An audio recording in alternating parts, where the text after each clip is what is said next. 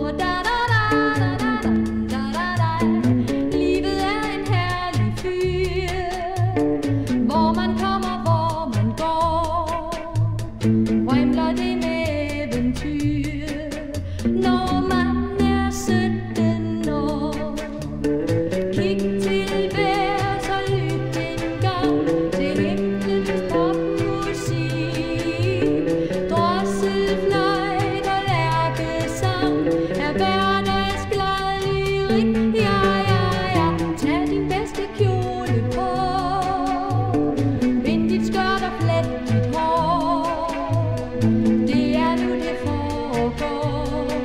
Når bare man er 17 år. Da, da, da, da, da, da, da, da. Da, da, da, da, da, da, da, da.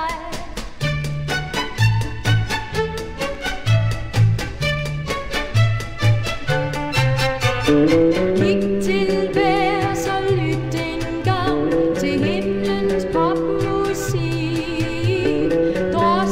Drosselfløjt og lærkesang er hverdagsglad lyrik. Ja, ja, ja, tag din bedste kjole på.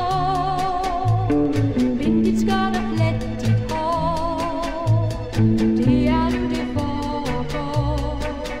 Gå ud og hils på verden, lys og fest i hjerten,